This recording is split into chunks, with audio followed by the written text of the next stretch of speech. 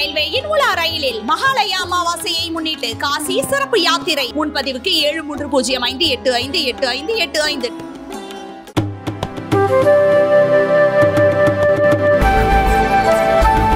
தூத்துக்குடி மாவட்ட திமுகவில் ஏற்பட்ட கோஷ்டி பூசல் காரணமாக மாநகராட்சி மேயர் ஜெகன் பெரியசாமி படம் இல்லாமல் ஒட்டப்பட்ட போஸ்டர்கள் கிழிக்கப்பட்ட சம்பவம் அங்கு பரபரப்பை ஏற்படுத்தியுள்ளது.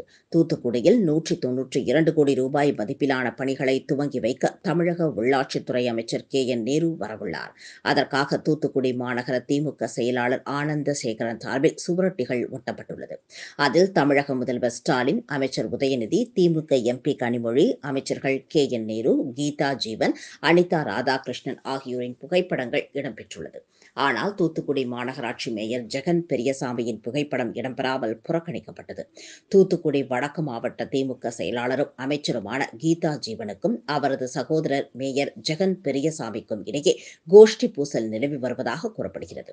இந்த கோஷ்டி பூசல் காரணமாக அமைச்சர் கீதா ஜீவனின் ஆதரவாளரான மாநகர செயலாளர் ஆனந்த சேகரன் அடித்துள்ள சுவரொட்டியில் மாநகராட்சி மேயர் ஜெகன் பெரியசாமியின் படம் புறக்கணிக்கப்பட்டுள்ள சம்பவம் கோஷ்டி பூசலை உறுதி செய்யும் வகையில் அமைந்துள்ளது. இந்த சூழலில் மாநகரின் பல்வேறு பகுதிகளில் மேயரின் புகைப்படம் இல்லாமல் ஒட்டப்பட்ட போஸ்டர்களில் அமைச்சர் கீதா ஜீவன் மற்றும் அனிதா ராதாகிருஷ்ணன் ஆகியோரின் படங்கள் கிழிக்கப்பட்டுள்ள சம்பவம் தூத்துக்குடி மாவட்ட திமுகவில் பரபரப்பை ஏற்படுத்தியுள்ளது.